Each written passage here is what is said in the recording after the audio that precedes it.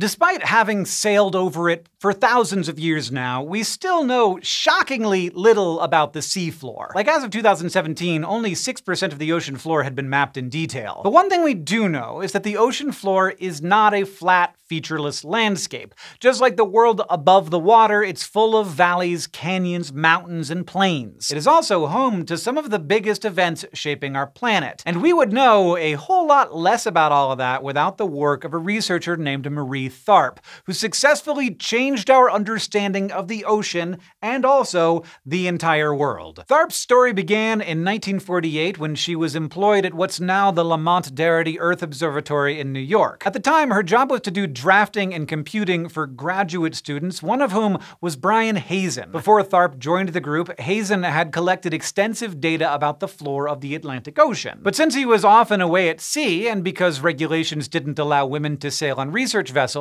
Tharp took over the task of organizing his data. Before long, she was working on Heezen's project exclusively, and that turned out to be huge for the future of science. See, Heezen was involved in collecting sonar data from ships, which was used to measure the ocean's depth. And while sonar is common today, this was like cutting edge work at the time. In the past, depth measurements were made with sounding. That's where researchers would lower a rope with a weight on the end over the side of the ship. And then when the weight hit the bottom, someone would mark the depth and then they'd pull up the rope. I guess that's how you do it. There were, of course, though, some problems with this. Like sounding was often inaccurate because the weight would rarely fall straight down down. Also, that gives you one data point at a time, which means it was exhausting to map a big area. So the advent of sonar drastically improved things. Instead of a rope, the ship would produce sound waves and measure the amount of time it took for the waves to bounce off the seafloor and return to the ship. Then, because we know the speed of sound in water, researchers could calculate the depth of the ocean with some quick math. Thanks to sonar, Heezen had compiled tons of data,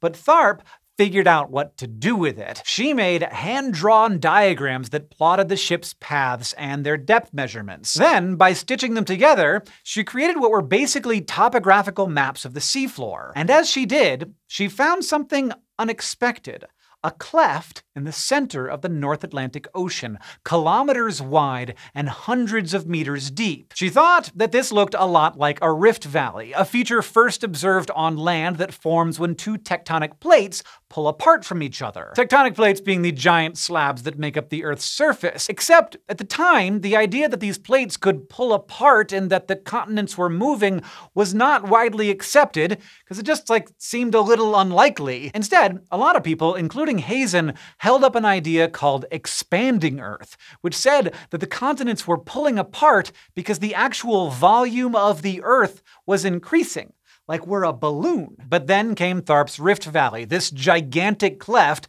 that just looked suspiciously like a place where tectonic plates were pulling apart. And today, we know that's exactly what it is. We call it the Mid-Atlantic Ridge, and there, the tectonic plates are being shoved apart as hot material from inside the Earth rises to the surface. This ridge ultimately gives us a mechanism for continental drift, and it was a nail in the coffin of the expanding Earth idea. But back when Tharp shared those thoughts with Heezen, he called the idea girl talk and asked her to redo her calculations. And so Tharp did, and she found, like maybe unsurprisingly, there was a rift valley still there. Also, to add even more evidence, it turned out that another assistant in the lab was making a map of earthquake epicenters. And the earthquakes were forming in the same spot as Tharp's Rift Valley. Since earthquakes are formed by the movement of tectonic plates, this made it clear that the Rift Valley was between two tectonic plates and they were pulling apart. And now continental drift is foundational to our understanding of the planet and how it changes. Like among many other things, it explains